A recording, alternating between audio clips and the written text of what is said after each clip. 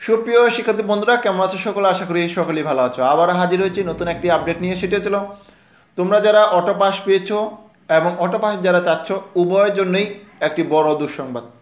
তবে দুঃসংবাদটি জানতে হলে সম্পূর্ণ ভিডিওতেই তোমার দেখতে হবে। তো তোমরা যারা দুই বিশ সালে এসএসসি পরীক্ষা দিয়েছিলে এবং তোমাদের যাদের অটো প্রমোশন দিয়েছে, তাদের জন্য বড় একটি দুঃসংবাদ।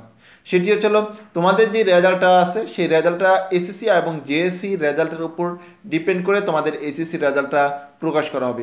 সেক্ষেত্রে দেখা যাচ্ছে যে তোমাদের যে ব্যবহারিকটা ছিল এবং যে অপশনাল যে সাবজেক্টটা ছিল, সেই সাবজেক্টের যে পয়েন্টগুলো পেয়েছ, সেই পয়েন্টগুলো এখানে কার্যকর হবে না। অর্থাৎ ব্যবহারিকের যে নাম্বার এবং যেই তোমার যে অপশনাল যে বিষয়টা, সেই বিষয়ের যে নাম্বারটা এই নাম্বারটা এখন এখানে আর যুক্ত করা হবে না। তোমাদের মেন যেই সাবজেক্টগুলো আছে, সেই সাবজেক্ট এবং ব্যবহারিক বাদে যে নাম্বারটা আছে, এই নাম্বারটা এখানে কার্যকর হবে। সেক্ষেত্রে দেখা গেছে যে তোমরা অনেকে আছো যারা সায়েন্সে পড়ো, তোমাদের দেখা যাচ্ছে যে আশি পেতে হলে, আশি পেলে যেহেতু প্লাস আশি পেতে হলে তোমাদের যে ব্যবহারিক, সেই ব্যবহারিক থেকে নাম্বার যোগ করে তোমাদের প্লাসগুলো দেওয়া হয়েছিল। অনেক সময় দেখা গেছে রাইটিং সাইডে একটু খারাপ হয়েছে ব্যবহারিকে ভালো করেছ, সেই ব্যবহারিকের যে রেজাল্টটা যেই রেজাল্ট আসছে, যে নাম্বারটা আছে সেই নাম্বারটা যোগ করে তারপর তুমি প্লাস পেয়েছ।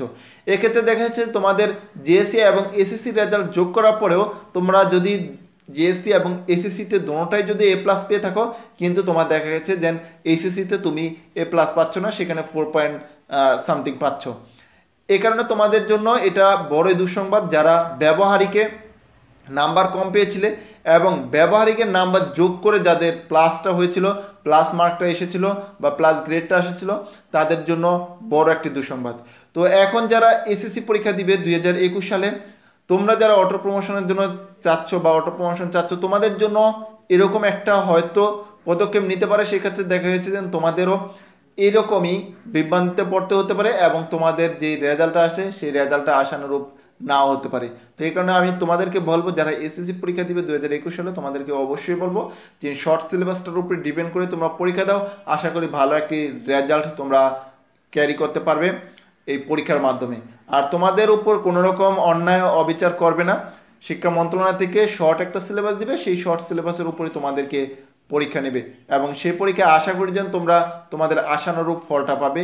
এক্ষেত্রে অটো পাসের যে একটা ঝামেলা বা অটো পাসের জন্য তোমাদের যে রেজাল্টের যে একটা অবহেলা, সে অবহেলাটা হবে না।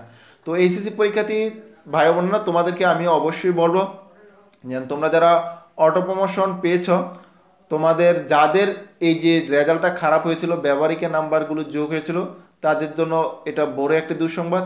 তো তোমরা যারা অটো প্রমোশন পেয়ে খুশি হয়েছিলে, বলতে গেলে তোমাদের জন্য এটা খুশির সংবাদ না, একটি মারাত্মক দুঃসংবাদ। যার কারণে তোমাদের যেই স্বপ্নটা ছিল, সেই স্বপ্নটা এখন ভেঙে যাবে। তো এই ছিল তোমাদেরকে দেওয়ার মতন একটি আপডেট ভিডিওটি ভালো লাগল অবশ্যই একটি লাইক দিবে। আর তুমি যদি আমার চ্যানেলে নতুন হয়ে থাকো, তাহলে অবশ্যই চ্যানেলটি সাবস্ক্রাইব করে রাখবে। ভালো থেকো, সুস্থ থেকো।